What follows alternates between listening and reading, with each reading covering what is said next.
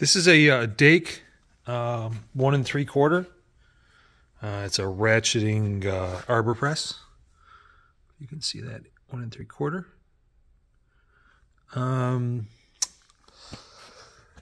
currently sitting on this stand, although uh, the way we're selling it right now, because I'm going to sell it with uh, UPS ship because it's only about 80 pounds, so I could probably ship it. But if you want to pay the freight shipping on it, um, we'll still have this, so maybe we can include it. Uh, just uh, ask, I guess, and we'll get you a quote on that. Um, let me show you. So this operates pretty smoothly, up and down. Click this, pulls that up, and then uh, you kick this pawl up, and then you can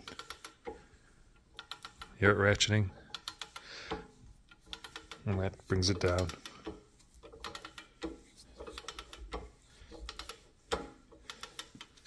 Uh, I'll show you this side.